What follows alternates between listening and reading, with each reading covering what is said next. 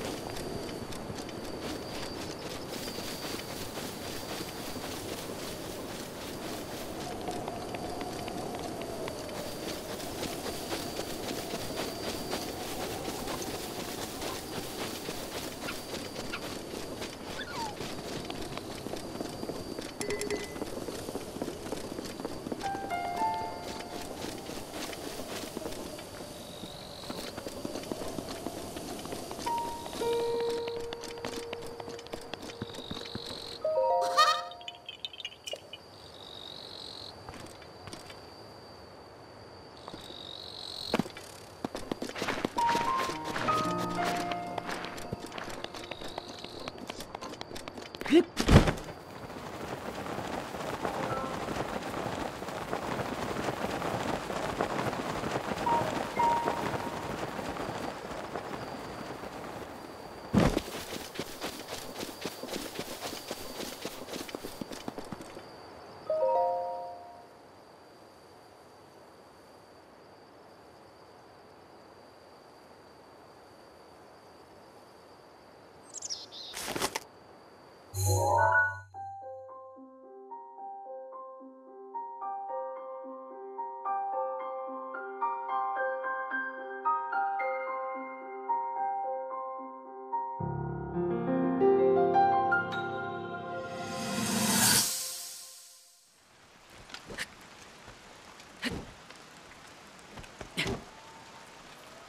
This will let up anytime soon.